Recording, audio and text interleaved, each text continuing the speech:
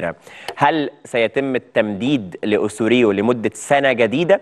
الإجابة الزمالك بيتفاوض مع الراجل مستني يرجع من الأجازة برضو علشان ياخد ما تبقى من مستحقاته ويبدأ يتكلم معاه في طلباته لسنة جديدة لأن الزمالك بحسب المعلومات اللي عندنا إنه شايف إن الراجل ده مشروع وإنه من أفضل المدربين وإنه عايز يحمي استمراره بعد الأداء الجيد اللي ظهر بيه الزمالك تحت قيادة أوسوريو في البطولة العربية فعايز يحمي استمرار المدير الفني الكولومبي مع الفريق كما يظهر أمام حضراتكم في العرض اللي على الشاشة لأنه عنده عروض خارجية فمفيش تفكير في التفريط فيه. هم عايزينه يجدد كمان يمدد. فقالوا له كل فلوسك اللي, اللي متبقية هندفعها لك. وهو ده متمسك بيه ومتمسك كمان بتوفير اللاعبين ومستحقات اللاعبين.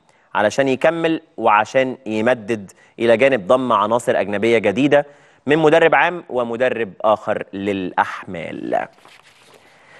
كل كله فلوس يعني أي أزمة الزمالك واقع فيها محتاج عشان يحلها فلوس. كورة بقى يد طايرة سلة كلها مشاكل مرتبطة بالفلوس. النهارده بيراميدز أعلن ضم محمود مرعي تاني واحد يجي من فيوتشر بعد مهند لاشين ليصبح ثالث اللاعبين القادمين من فيوتشر إلى بيراميدز هو بوبو المنتظر أن يتم الإعلان عنه رسميا إما غدا أو بعد غد على أقصى تقدير. محمود مرعي لاعب فيوتشر كان أحد اللاعبين اللي تألقوا الموسم اللي فات وكان زيه زي بوبو هدف من أهداف الأهلي لكن الأهلي انسحب في النهاية تاركا المجال لبيراميدز لدعم قائمته بصفقات قوية جدا. وهو مقبل على المشاركة لأول مرة في تاريخه في دوري أبطال إفريقيا في النسخة المقبلة.